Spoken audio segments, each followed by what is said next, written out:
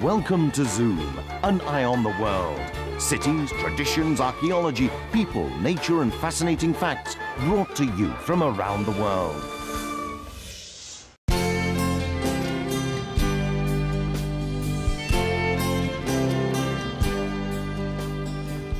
Cracovia è stata la capitale della Polonia fino alla fine del XVI secolo, quando la capitale venne spostata a Varsavia. Al giorno d'oggi, Cracovia è la quarta città della Polonia, ma tutti i polacchi la considerano la capitale culturale del paese. La famosissima Università Jagiellonian, il castello di Wawel e una delle più grandi piazze antiche d'Europa sono tutte contenute in uno dei meglio conservati centri storici d'Europa. La città vecchia di Cracovia è diventata monumento mondiale preservato. L'arte e la cultura sono di casa. Lo si avverte passeggiando negli stretti vicoli del centro storico, ricco di sontuosi palazzi e residenze di nobili e principi. Si ha la stessa sensazione passeggiando nel quartiere universitario, il più antico della Polonia e tra i più antichi di tutta Europa. Qui hanno studiato Copernico, Karol Wojtyla, la poetessa Zimborska, premiata con il premio Nobel per la letteratura nel 1996, e altri illustri studiosi che le hanno fatto guadagnare l'appellativo di Atene polacca, come veniva chiamata nel Cinquecento. Tra gli altri appellativi vi è anche Roma del Nord, a causa del gran numero di chiese e monasteri che si trovano all'interno del centro storico, oggi interamente pedonale.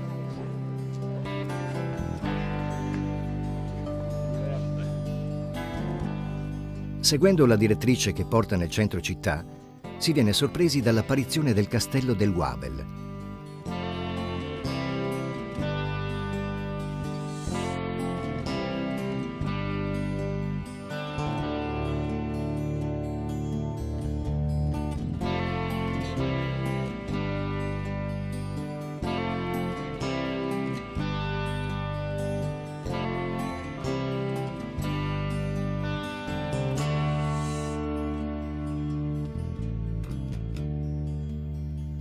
La collina del Wawel è uno dei gioielli polacchi e da secoli è occupata da un complesso che ospita alcuni edifici importantissimi. La leggenda della fondazione della città narra che proprio in questo punto, sulla collina Krakus, dominante una piccola ansa della Vistola, il leggendario Krak, principe capo di una tribù slava, uccise con uno stratagemma il terribile drago che imperversava nel villaggio poco distante. Tale villaggio si sviluppò successivamente nella città che conosciamo.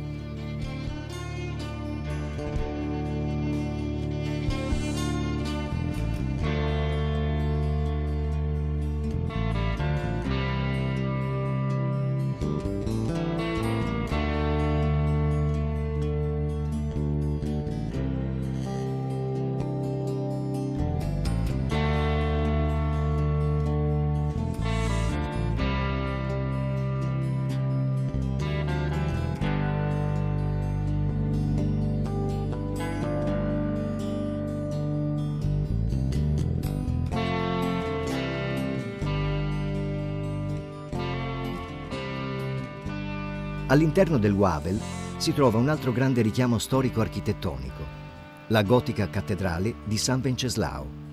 Le forme esterne lasciano intuire la complessa storia di questa costruzione, risultante da molte ricostruzioni e annessioni di precedenti chiese.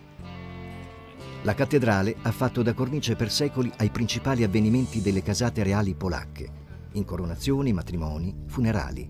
Per questo motivo l'interno ospita i tumuli di regnanti e dei rispettivi familiari e altri capolavori.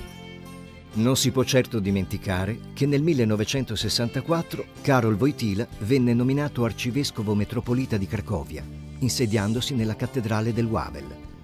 Il futuro Papa Giovanni Paolo II segna inevitabilmente la storia della città. Con la sua salita al soglio pontificio, Cracovia diventa la città del Papa, in anni in cui gli equilibri politici tra est ed ovest iniziano a sgretolarsi con la caduta del muro di Berlino. Il successore del Papa a Cracovia, cardinale Glemp, segue le orme di Wojtyla. Le parole che giungono dall'arcivescovado di Cracovia diventano per la Polonia e per gran parte dell'est europeo in fermento un vero e proprio punto di riferimento. Sono in qualche modo gli anni del rinascimento di Cracovia. La vecchia capitale polacca tornò a far sentire la sua voce, dando una spallata forse determinante, al crollo del muro di Berlino. You've been watching Zoom, an eye on the world. Hope to see you again soon.